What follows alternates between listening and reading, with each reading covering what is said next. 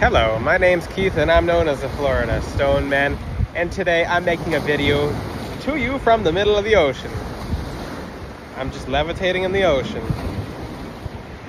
I'm kidding, I'm, I'm actually on rocks right now, so how cool. This is a beautiful video uh, spot to talk to you about this topic that I'm going to be talking to you about today. Is be careful of fake Christians or Christians in disguise. And I've been really taking a lot of time to think about this because I sometimes this is just such an in deep in-depth topic I have to talk about. I've just been wrapping my mind around it because I've came to a realization as of very recently to some very shocking information based on what God has shown me. So there's people online who says Jesus loves you. And those people come from a sincere place, a very beautiful place in their heart. And there's certain people online that will say Jesus loves you.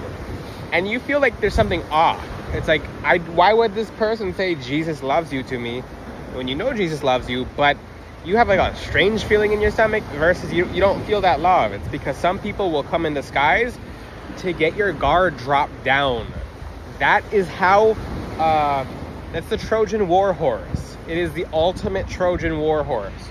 It's how you get past someone's defenses. Is to pretend to be like them. Get them to drop their guard. I'm gonna give you a very. I'm gonna start this off with a very specific example. God, I mean, the devil knows that if he approaches people uh, with as himself or something that's very obvious to be him, and that's why they call him the false light in the Bible. Uh, the thing is, you have to know he's gonna be very clever and sneaky when sneaking up to you. Same thing with the serpent in the Garden of Eden. It wasn't a scary beast, it was a snake. So uh, the screaming is confirmation because there's people in the water and they just stepped on something. Hopefully not a snake, but it's Florida. Be an alligator. Uh, but in my TikTok live, I had someone say in the live, and some of the people watching this video were actually in the live at the time. So if you're in the live, comment below. But you know who I'm talking about. There's a woman who basically said, I would like you to stop teaching about the Bible. I, I came to you to learn about crystals. Stop teaching this. And then she said some bad stuff. Stop teaching this. Like this is this is not what I came to follow you for. This is not what I'm looking for. I didn't come to I didn't come to you to go to church. And she started saying this stuff, and I'm like, you must be out of your mind. And she immediately changed moods once I like, I'm like, are you kidding me? Are you kidding me? I will never, I mean, I was just like, for someone to have that kind of audacity, like, stop teaching the Bible. Like, instead of her leaving alive, and instead of her going on her merry way, there was something in her. Think about it like this there was something in her telling her, stop teaching this this is like uh, no one wants to hear this. And she tried to like mute my message. Actually since then i've been teaching about 10 times more of the bible. Because i'm like okay this is a message that i need to teach. But the story gets really interesting here. She went quiet for a little bit and live and then a little while later she came back. And she was preaching messages of jesus. Jesus loves you and it was and i she didn't even change the profile picture. She didn't change her picture at all. Jesus loves you. And then she started sharing messages from the Bible. She must have Googled them. Or something on her must have been sharing stuff. I'll give you another stuff, a, a little something a little bit later on. But uh, she's like, Jesus loves you. All you need is Jesus. Put down the crystals. Uh, don't, I mean, just, you don't need crystals. All you need is Jesus. Jesus wouldn't want this someone who was telling me to stop saying the word Jesus, stop saying the name Jesus and talk, stop talking about the word of the Bible. I was just shook. I was just like, it's the most eye-opening thing I've ever seen when it comes to other Christians, other Christians. And I have not looked at a single comment ever again the same way. So this person was pulling up scripture and like this person was legitimately trying to get me to stop teaching about the Bible, to stop teaching about Jesus. And now all of a sudden, within a couple of minutes, uh, five to 10 minutes, I don't know how much time went by because I was teaching. But this person became like, like a now saved now a completely different person. That had to been if that if this story doesn't wake you guys up, and there was multiple people in that live. It's it was probably the most. Just made me ponder things differently. Like I don't even. That was the biggest like one of the biggest things I've ever seen. Like that that switch up was so fast and so real. And actually, this is the most this is very important. She got a lot of people in the live when she was sharing the messages. She was like, uh, she was starting off very friendly, like God loves you all. Uh, put Jesus first. Everyone's like, Amen, Amen. People were she was getting people like, and yeah, of course, Amen to that. But at first, when I I didn't even pay attention to her name or her picture because I was reading questions. And I'm like, there's something a little bit off here. You could just read by intention when someone says Jesus loves you. It's like that's from a place of love, or that's from a place of oh, okay, I'm gonna get it. I'm gonna get over on you. So right after that, all these people were like, oh man, I'm in. I'm like, yes, it's good. Those are messages of love, but not a person coming from a place of love. So you have to think about it like this: the devil knows that he can't be obvious. Like that's obviously like if you're trying to beat against the gates of someone who has God behind them, God's going to remove that person from the front of the gates, like like an ancient city, like the uh, like Rome, like in ancient Greece, and any ancient Egyptian civilization. When you have the gates, banging at the gates, it just gets you shot at and fired at, like arrows being sent down. So for that person to like go back and just really just ponder. I, I'm just like this. This leads me into awe. This is like the the cool. I mean, the most interesting thing I've shared about a fake. I mean, fake Christians, pretty much false Christians, is that the devil 100% knows that you have God at your back. So the best way is to sneak inside. And since, because I 100% know that God has sent that person in life to kind of reveal what kind of people are out there. And then I've been seeing in certain comment sections, it starts off, Jesus loves you. God is good. And they, they share some beautiful stuff. People agree with them. And you click re- the reply thread, you, you go down to the, the entire reply thread, and it gets dark. It's like Jesus. Uh, and then they start shoving words in people's mouths. They start passing judgment. They're like, oh, it's not judgment, but it's just but. Remember the famous word but? So, and then division occurs. I came up with a little uh, a saying if that person's decision was division, then God will be their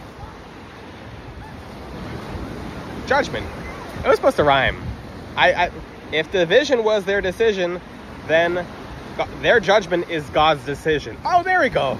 Okay, thank you. But that that that rhyme just sticks with me as well because some people they'll just they'll look to sneak in sneak in a little bit like just kind of disguise themselves and then they'll rip everyone apart. That's what you guys have to watch out for. And it's happening so much. Some people don't legitimately one two three four five ooh 11 birds flew over. I'll teach you about that soon but and yes i count birds when they fly over but uh they're long gone uh, but this is such. And for 11 birds, Psalm 91 11. For he shall give his angels charge over thee to keep thee in all thy ways. Ask God. So the biggest thing you can do in this scenario is to ask God to cast out false lights.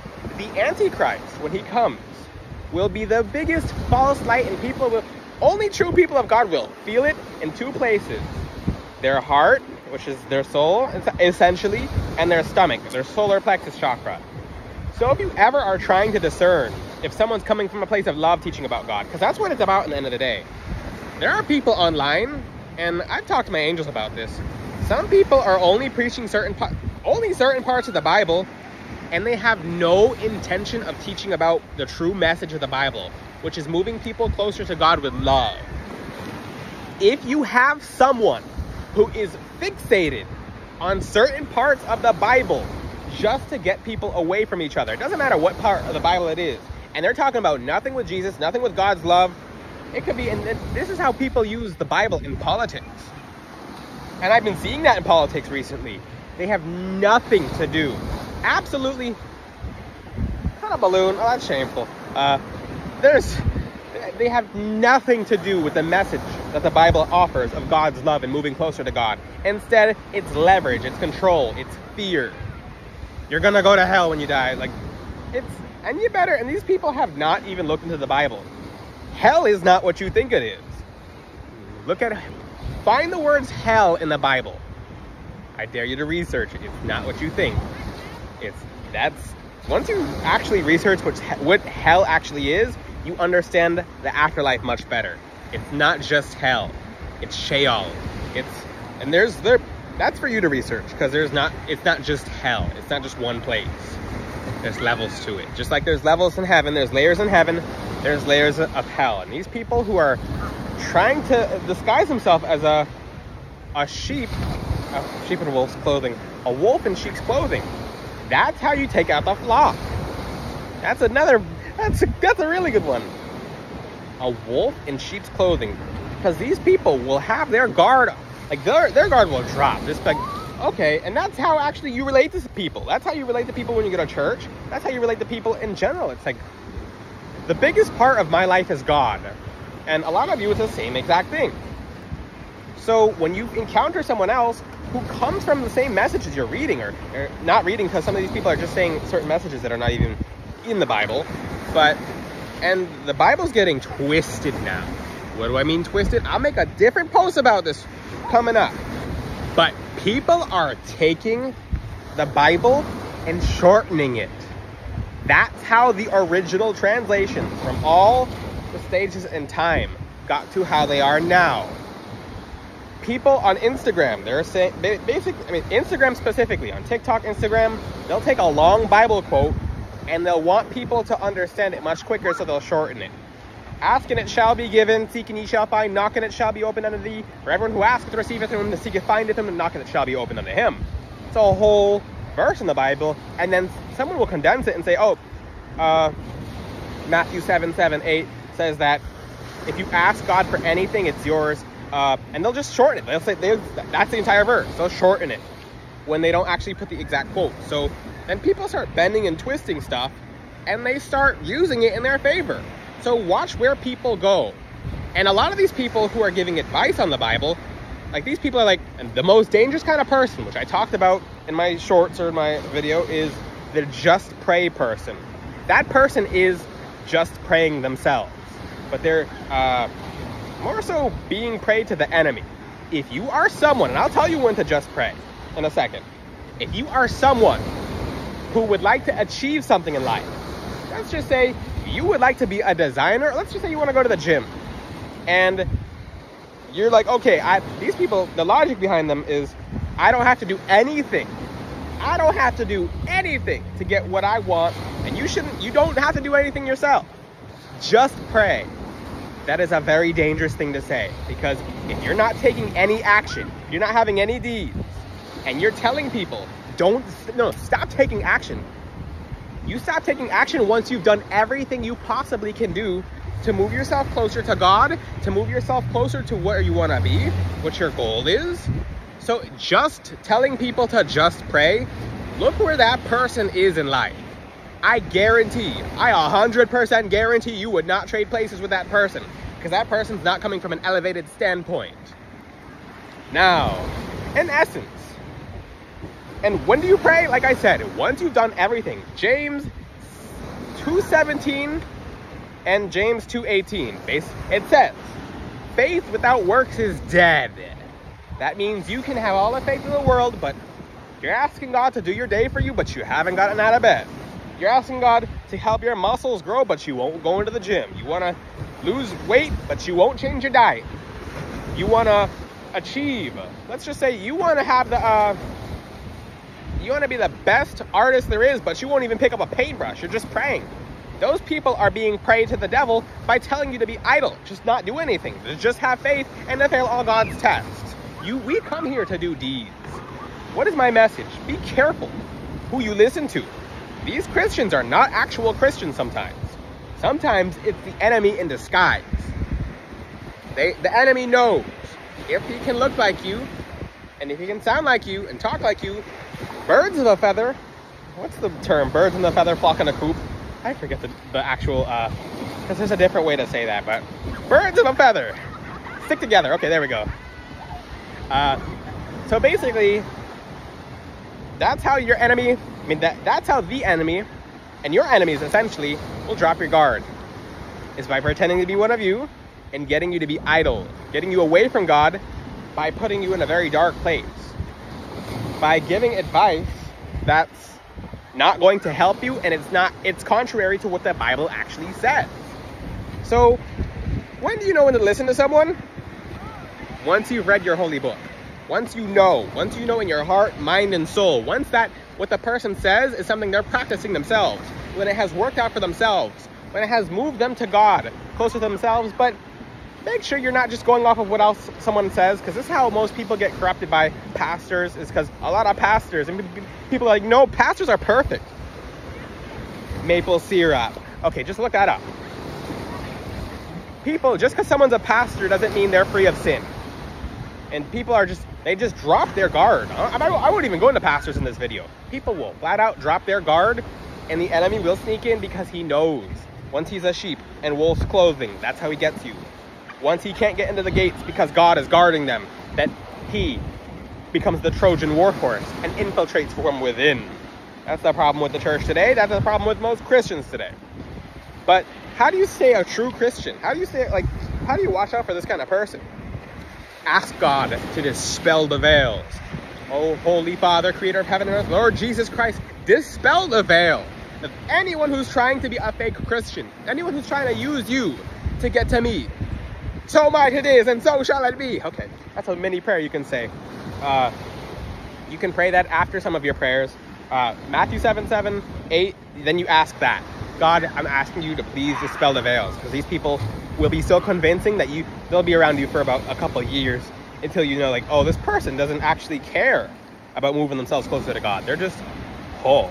But in essence, um, any questions, ask them in the comment section. I won't be redundant. I'll keep this video nice and short. Until then, I'll see you guys next time. Make sure you check out FloridaStoneman.com. The water is, uh, no wonder my angels are yelling.